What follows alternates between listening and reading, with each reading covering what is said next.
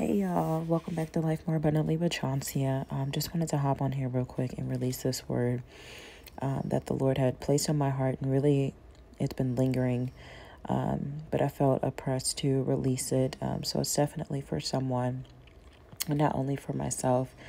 Um, but it's coming from the book of Second Corinthians, chapter three, verses five, the Amplified version, and it reads not that we are sufficient, excuse me, not that we are sufficiently qualified in ourselves to claim anything as coming from us, but our sufficiency and qualifications come from God. Not that we are sufficiently qualified in ourselves to claim anything as coming from us, but our sufficiency and qualifications come from God. And just real quick, the word um, on today is growth over grind. Growth over grind with a subtopic of stay in me and I will grind for you. I was actually um, driving in the car when um, this word literally just came from, from out of nowhere. And I heard the word, stay in me, and I will grind for you. And I believe in that moment I was trying to figure out how to you know, make things work, how to how to make things manifest and how to make things, you know, just shift cuz I've been needing things to like literally just shift in my life and just come together for once cuz we'll talk about the promise and God will continue to keep the promise in front of us, but it's like, God, like I need things to happen now. and God is like, it will just stay in me. Let me do the work. This time, let me do the work.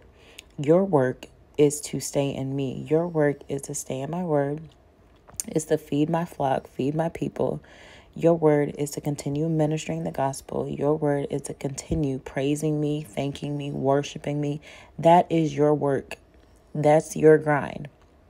And when you stay in me, when you seek first the kingdom of God and his righteousness, everything else that you stand in need of, God will add that to you. God will manifest it. God will bring it to you. But you must stay in Christ, stay in God, because when we stay in God, um, he he won't only you know manifest our needs and, and literally just pour out our needs to us, but we also like he's literally our sufficiency. Like will remain full. We'll, we will remain in peace. We will remain, you know, whole and sane when we stay in the Lord. And so, growth over grind. I don't want to grind so much that I'm doing all this hustling, that I'm doing all this, you know, busyness, but I'm not I'm not getting nowhere. I'm not really producing anything that's fruitful, not only for my life, but for the lives of, you know, those around me. I don't want to just make money just to put it in the bank and say, you know, I got this large amount of money. No, like what am I what am I to do with it? Like I want to grow in the knowledge of God, grow in the wisdom of God. Like, God, show me how to manifest money and how to manage money, how to, you know, manage my children and manage my marriage. Like, in a sense, like manage my businesses, my ministry. Like, show me how to do all this in the most effective way, in the most you know, loving and compassionate way, Lord, where it's not just a blessing to me, but it's a blessing to generations that are, you know, coming after me.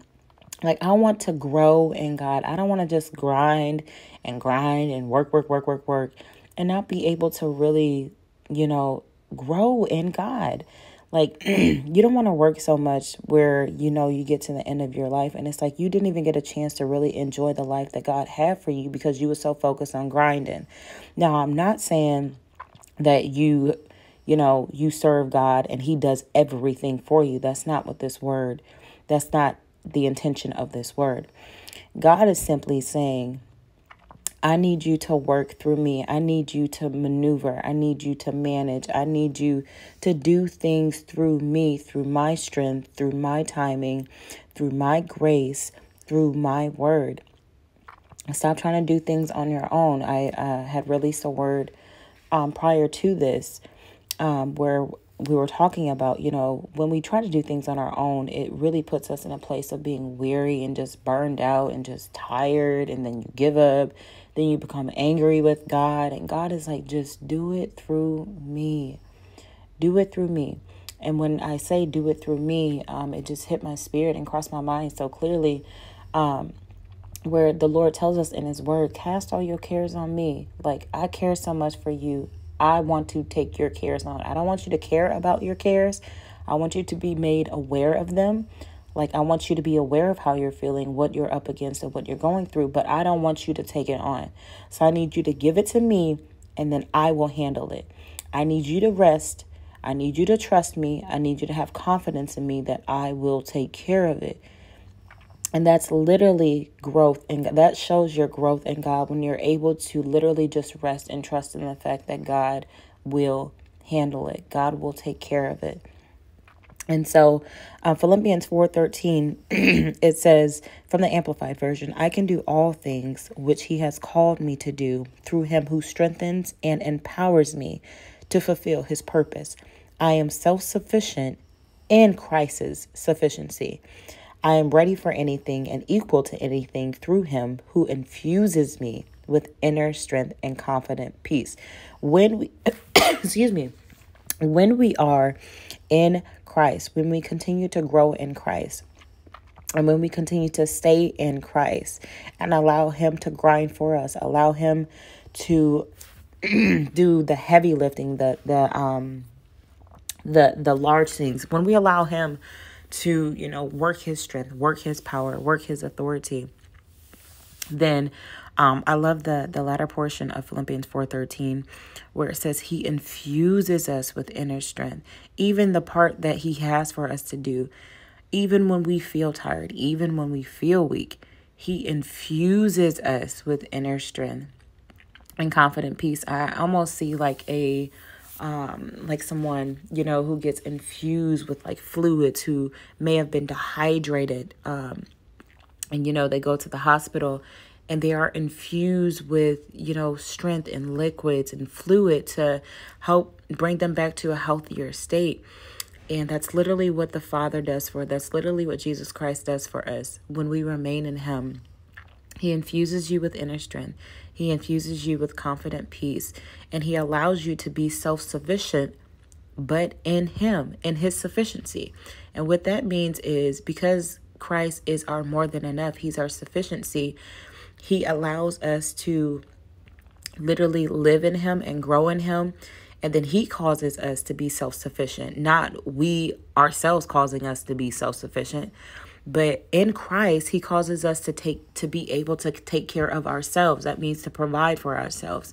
Um, that means to provide for our children, provide for our spouses, you know, take care of our businesses and our ministries. That's being self sufficient and within Christ's sufficiency. And so I pray that this word, whoever it was for, it really, really encourages you um, to stop trying to do it your way. Stop trying to do it. And this, my God, this is a word for myself as well. Um, and don't beat yourself up because it can be um, so easy to get, you know, flustered and overwhelmed by what's not going right and um, what's not happening according to you know our timeline but god is like i've got this i just need you to rest i just need you to trust in me i just need you to stay in me um, keep your posture before the lord. Um, stay in prayer. Even when it feels like it's hard to pray um, sing a song to the lord. Prayer is just it's simple. It's it's communicating with god. You can communicate with god through your journal. You can communicate with god through um, song through dance. Um, literally just communicate with god. However communication looks between you and the father communicate. Do that and if you don't know how that looks ask him. He will he will lead you and guide you into what your relationship with him looks like for the both of you. And so, gracious Father, we thank you, Lord God, for this word. We ask, God, that you would allow this word, Lord God, to just prick our hearts to um, fall on good ground and to grow, not only to fall, Lord God, but allow the, the word your word to take deep root, Lord God, in our hearts, in the atmosphere of our homes, in our minds, in our thoughts, in our conscious and subconscious. And help us, God, just to, to grow in you. Help us not to grind so much that we fail to literally evolve in you and to mature in you, God. Help us to have balance, God. Help us to trust in you, Lord God, more than we trust in ourselves, more than we trust in things, more than we trust in people.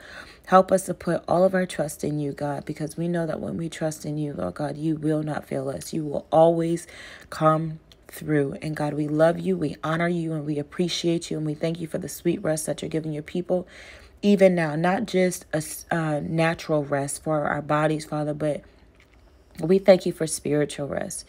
Someone needs rest in their mind, God. Someone needs rest, Lord God, from um, the battles, the warfare, Lord God, the worrying, the doubt, the fear, Lord God, the what ifs. God, I just pray, Lord God, that you would release your heavy rest, oh God, upon them, Lord God, in such an overwhelming but purified way, Lord God. I ask, oh God, that you would give your peace that surpasses all understanding in the mighty name of Jesus. Father, we thank you, Lord God, for your love, Lord God and your compassions that fail if not. Father, we thank you, Lord God, that the promises of you are yes and amen. So what you have spoken over the lives of your people, it is sure to come because it has been stamped with your approval. So there is no need for us, God, to try to make things happen because you have already sealed it. You have already Uh, Lord, you've already spoken these things over our lives, so we don't need to make anything happen. We just need to stand in agreement with what you have already spoken. And Father, we receive every promise with our name on it directly and divinely sent by you. Every blessing, every door, every opportunity, Lord God, that you have for us, God, we receive it, God.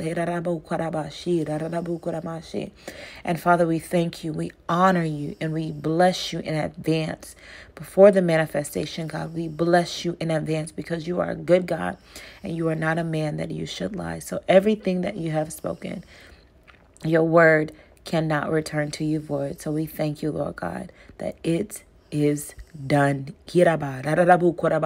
Even now, it is done. Some will see it, Lord God, the manifestation of it in weeks. Some will see the manifestation of it in one week, in in a few days, Father, in the mighty name of Jesus, God. Some will see it even now in the name of Jesus, God, that before they even get to rise up early in the morning, Lord God, on tomorrow morning, God, things have already begun to, to shake up, Lord God, and shift, oh God, and rearrange and align in their favor. In the mighty name of Jesus. Father, this we declare and decree, Lord God, that you are the one who moves, oh God mountains and it does not take you long to move, Father. It does not take you long to move. God, all power, all rule, all dominion and all authority is in your hand. And we give you honor, glory, and praise in Jesus' mighty name. Amen. Please feel free to like, comment, and subscribe um, for all the subscribers um, that are already a part of the family. I love, love, love um, your support, and I love you um, with the love of the Lord. And I pray He continues to bless you and grow you in Him to the new subscribers, thank you so much for tuning in. If for those that have just landed on this page by, you know, um, the being led of the Lord, thank you so much for stopping by. Again, please feel free to like, comment, and subscribe, and make sure you hit the notification bell so that you're notified every time that um, the Lord releases me to release a word to you. So uh, please, please, please remember growth over grind and stay in the Father, and He will grind for you. Take care.